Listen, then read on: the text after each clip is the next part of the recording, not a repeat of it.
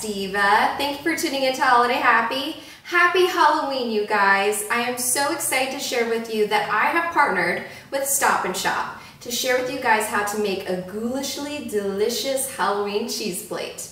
Also, if you really love this super adorable witch costume, I got it from festthreads.com. The link is below.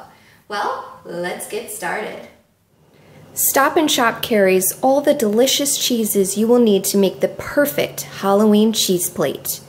You will need aged goat cheese, and it looks just like a brain. Frankfully frightening Gouda cheese. Vampire Slayer garlic cheddar. And Red Devil. So to make your cheese plate, aside from the cheeses, you will also need some crackers, maybe some meats. I'm using salami.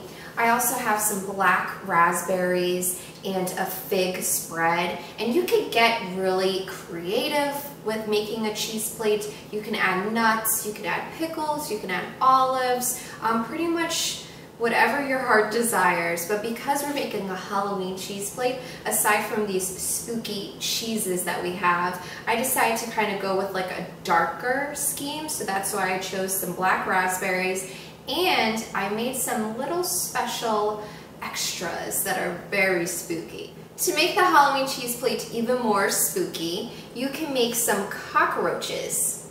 Yes, edible, delicious cockroaches using pitted dates stuffed with cream cheese and some slivers of green onion for the antenna.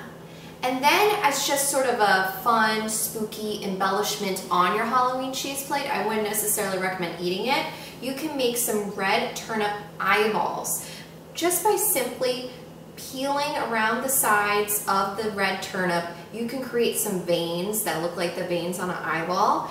And then where the root is, you can carefully peel that out and make a little bit of an indent and then put an olive for the actual pupil of the eyeball. So these are some other spooky touches that make your Halloween cheese plates even more ghoulishly delicious. So let's get started with assembly.